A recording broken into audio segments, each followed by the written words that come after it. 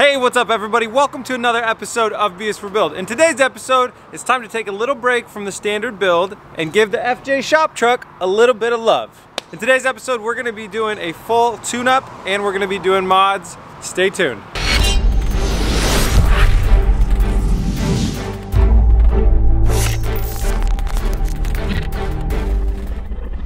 Today's episode is proudly sponsored by STP 5-in-1 Ultra Fuel System Cleaner and we're going to be using that and talking about that a little bit later in the episode. So to get started on the uh, tune-up, first thing you always want to go ahead and do is change the oil. It's been about 10,000 miles on this car since we've changed the oil. We've driven it to Vegas and back. So let's get started. We're going to jump underneath, pull that drain plug and drain the old oil out.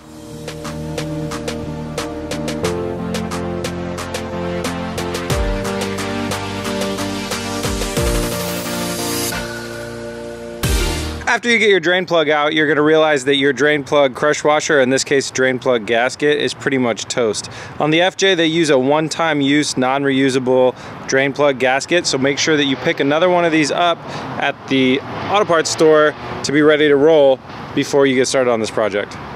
Now that we have our drain plug pulled, we're gonna wanna take our old oil filter off. That's located right here to the front right of the engine, and you're just gonna unscrew this counterclockwise and it'll come right off. If your oil filter is completely stubborn and stuck on there like mine is, you got a couple options. You could go get an oil filter wrench and that'll help you take it off. Or you could do the DIY at home thing I do not recommend that I'm about to do, which is take a screwdriver and tap it with a hammer through the oil filter horizontally so the head of the screwdriver runs through the oil filter. Then you can grab the handle and turn it counterclockwise to unscrew the oil filter voila oil filter shish kebab.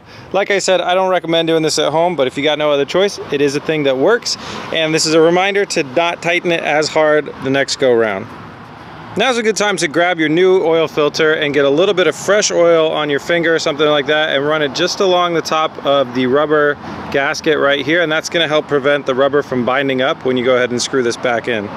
All right, with the new oil filter in, it's time to install the drain plug in the bottom, put the new oil in the top, check it on the dipstick. When we get the right level, we're good to go on the oil change. While I'm doing that, Chelsea's gonna be vacuuming out the interior.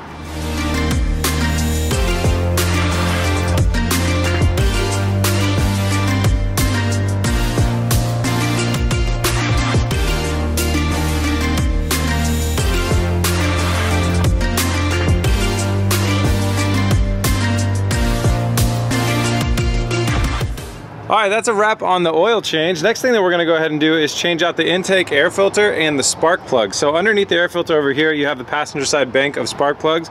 And then over here, you can kind of see where you get access to all those spark plugs. So it's not gonna be real fun pulling the plug coils off and getting the plugs out of there, but it's gonna be worth it. So I'm gonna go ahead and start by removing the air filter housing, pull that aside, and then we'll start pulling all the uh, plug coils.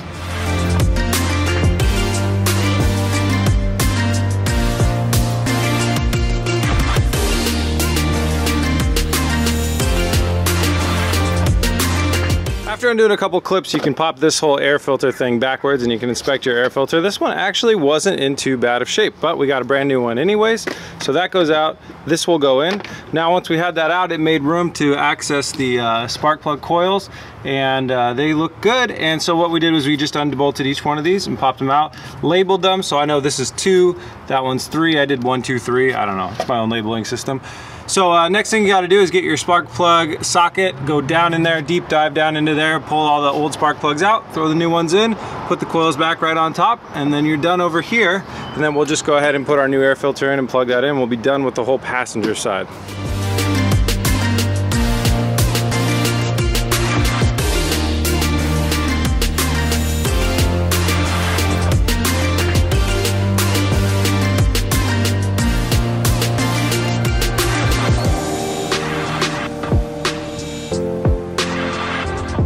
Okay, that's the passenger side bank of spark plugs and the air filter replaced. I started to get really worried when I was popping some of the spark plugs out because it almost felt like they were cross-threaded in there and I was just, I was dreading the idea of that.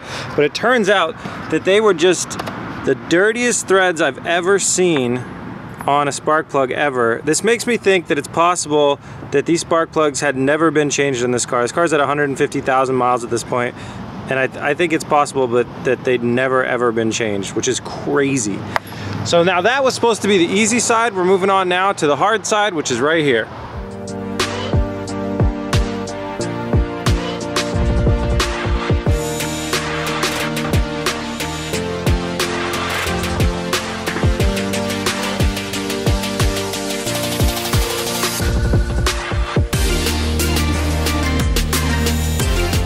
Man, that was a total pain, but I finally got the driver's side bank of spark plugs done. So now we have all new spark plugs in the system.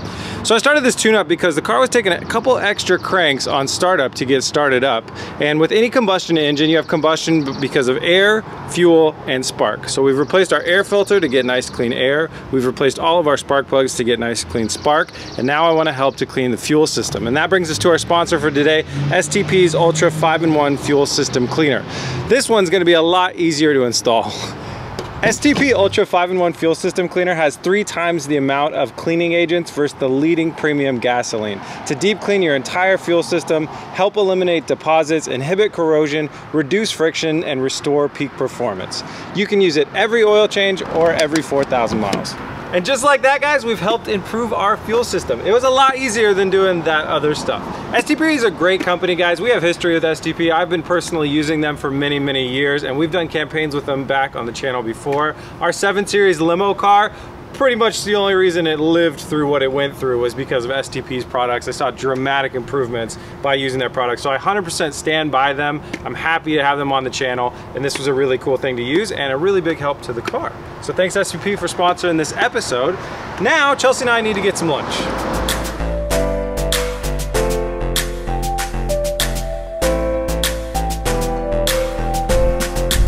Chelsea has never had Korean barbecue before, so I figured we should take her here. If you're a vegetarian, uh, you might want to skip the next two shots.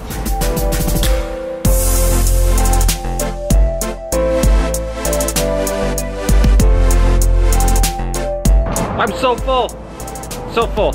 Well, barbecue is fantastic as always, but we still got a lot of work to do and we got to get to it if we're going to get done before the sun goes down. All right, I've got an idea of how to pick up the pace a bit. So my next project is to clean up and repaint this thing. So when you see all this scraping and scratching and stuff off of here, rock chips hit these things pretty hard, but that's not really what this is. This means that you didn't sand well enough into the surface below so that the new paint could grab on well enough.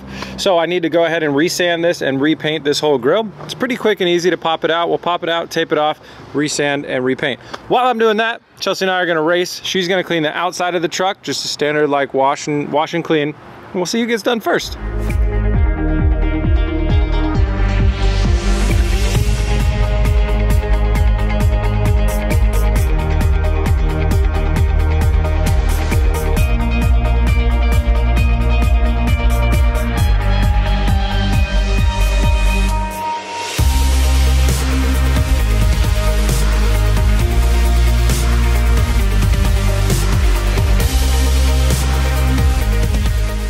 Chelsea totally beat me on this one. It took way longer than I thought to sand this thing up, but I gave it a good sanding, three coats of satin black, and that'll get reinstalled in a second, uh, but I need to give it more time to dry. While we're giving it time to dry, let's move on to the last thing that we're gonna do, which is we're gonna build a roof rack rack. This was basically uh, supposed to be a metal box that was gonna sit inside the roof rack to stack lumber for when we go camping. So this is our adventure vehicle, this is our camping rig, and in the back there, you guys know that we have this uh, bedding thing set up. It's in the playlist for this build if you wanna see how we did it. It's a really cool thing that uh, folds flat with the seats and sets up and it makes us a nice flat sleeping surface. All, all those things, all those pieces of wood and stuff that we use to do that have this nice fabric covering on them and stuff like that. And when we put firewood in the back on top of those things, it kind of leaves behind little splinters and stuff like that. It's not very comfortable. So I was thinking it'd be really cool to figure out a way that we could just load up firewood on the roof.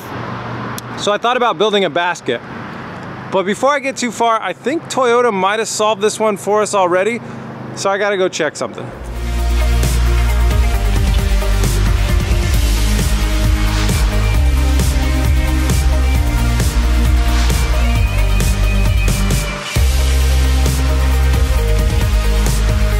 All right, rather than building a box and setting it inside the roof rack, I found these things, which are like some lateral supports that are original part of the roof rack. We took them off because we were trying to eliminate wind noise, and I uh, found out that these aren't really the culprit at all. It was the LED light bars, and that's why we don't have them anymore.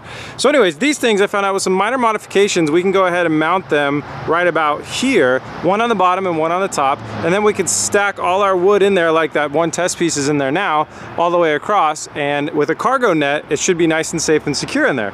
Then what we can also do is if we want, we can loosen them up, slide them forward, and we should be able to set four wheels on the roof, which is gonna be really good for when we start going drifting more. So that's what I wanna go ahead and test. We're gonna modify these things, clean them up, paint them up, mount them in there, and I'm gonna see if I can also try and get four wheels and tires on the roof.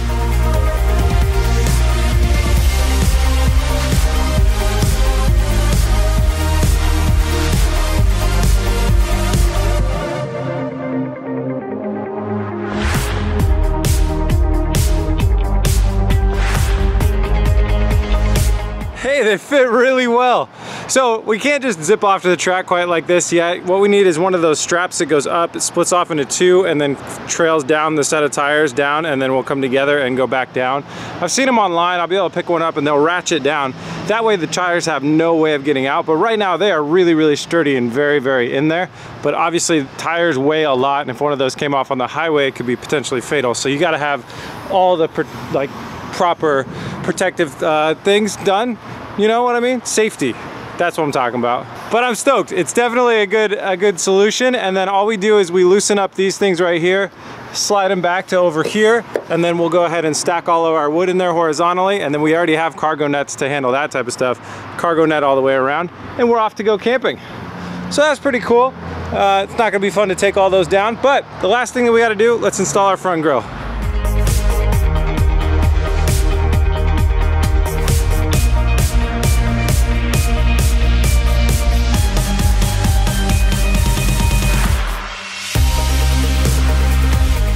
Just before nightfall, sun setting, and we just finished up the grill. Looks really, really good. Looks a lot better with that nice fresh coat of paint on it.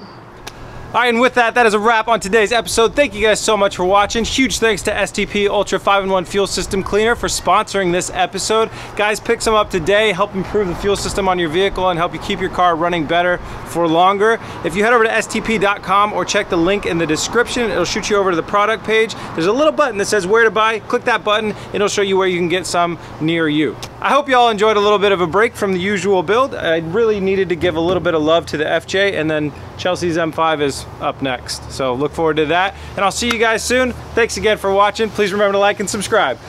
Peace! Come on.